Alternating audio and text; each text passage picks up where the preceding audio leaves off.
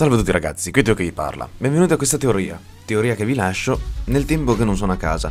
Quindi sono riuscito a portarvela giusto oggi. Chiedo scusa a tutti. Oggi parliamo di questa teoria, riparliamo di nuovo di Red, ma di una cosa un pochettino più particolare di Red. Come mai non parla? Secondo voi, perché il fortissimo Red non parla? Beh, c'è chi dice che sia solamente un bug. C'è chi dice che sia solamente non è stato scriptato nessun dialogo per lui. C'è chi dice che Red non parli, per il semplice fatto che sta aspettando solamente la persona giusta da poter sfidare, per poter rilasciare tutta la sua potenza, la persona che prenderà il suo posto. C'è chi dice semplicemente che non parli perché si sente ancora in colpa per il raticat di Gary. E quindi si sente talmente in colpa che lo shock gli ha tolto la parola.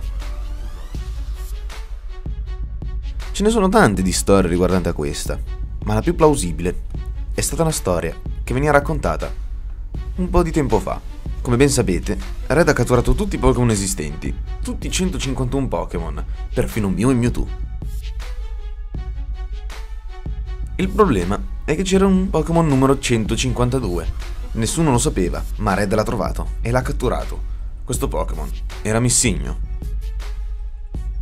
Sappiamo tutti gli effetti collaterali di questo Pokémon. E purtroppo, anche Red ne è stata una vittima.